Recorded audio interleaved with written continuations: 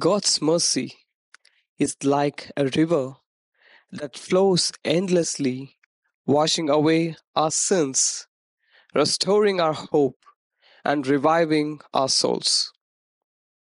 This quote reminds us of the constant flow of God's grace, uniting and preparing us for the fullness of life in Him.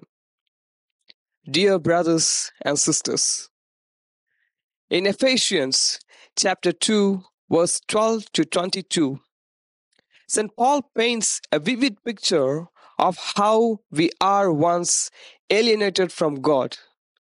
You were separate from Christ, excluded from the citizenship in Israel, without hope and without God in the world. But God's mercy is like an endless river, washes away the barriers of sin and restores us to life in Him. Christ is our peace, breaking down the walls of hostility and uniting us into one body. This powerful transformation calls us to reflect on how God's mercy brings us from separation to reviving our souls and restoring our hope. Consider St. Damien of Molokai, who lived this message by serving lepers cast out by society. Through his ministry, he broke through societal divisions and became a living witness of God's mercy, restoring hope to those in despair. In Luke chapter 12, verse 35 to 38, Jesus shifts our focus to the necessity of readiness and vigilance. He says, Be dressed, ready for service, keep your lamps burning, calling us to live in constant anticipation of His return. Just as God's mercy flows endlessly, we must stay prepared like servants awaiting the master's return.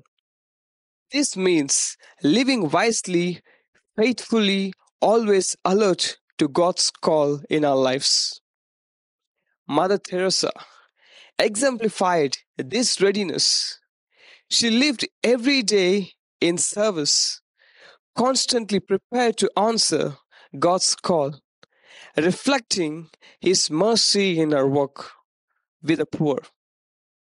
Her life, like a lamp burning bright, was a testament to the power of living in readiness for God's presence, from division to unity. Reflect on where you may experience division or separation. Seek reconciliation and allow God's mercy to restore our hope and unity in relationships. Secondly, living with readiness. Evaluate your spiritual readiness. Are you living in a way that prepares you for Christ's return? Thirdly, seeking peace in Christ. Just as Christ has broken down walls of division, seek ways to promote peace in your communities, letting God's mercy flow through your life. Let us make prayer. Lord, we thank you for your boundless mercy that restores our hope and unites us.